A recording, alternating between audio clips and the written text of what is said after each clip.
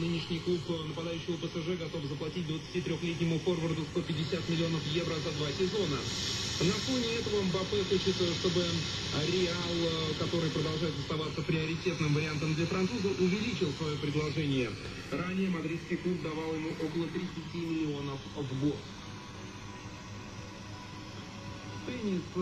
Павел Котов не сумел пробиться в четвертьфинал турнира ATP 250 в Маракеше. Сегодня россиянин уступил Ришару Гаске 3-6, 6-3, 3-6. И в завершении вновь о футболе. Сегодня первые матчи 1-4 финала в Лиге Европы УЕФА. Аталанта сыграла в ничью на выезде с... Во Владивостоке до 8 тепла. В Екатеринбурге плюс 7 возможен небольшой дождь, в Челябинске плюс 3 градуса осадки, в Тюмени до 6 тепла возможен дождь, в Ханты-Мансийске плюс 3 градуса кратковременные осадки.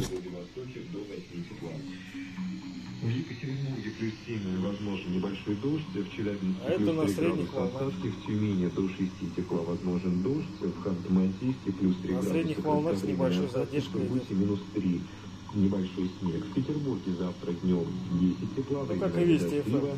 В Москве небольшой дождь, ночью сегодня плюс 7, и завтра днем до 16 градусов.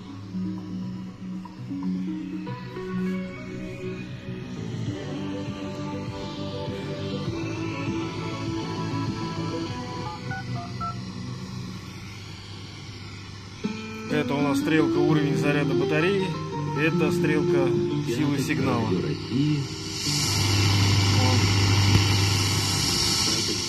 по роману Мигеля де Сервантеса «Хитроумный Идальго Дон Кихот Ла-Манческий».